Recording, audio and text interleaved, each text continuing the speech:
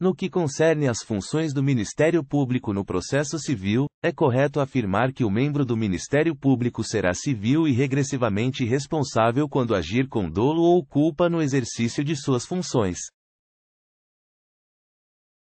Analisando a questão, você responde: verdadeiro ou falso? O gabarito é falso. Artigo 181.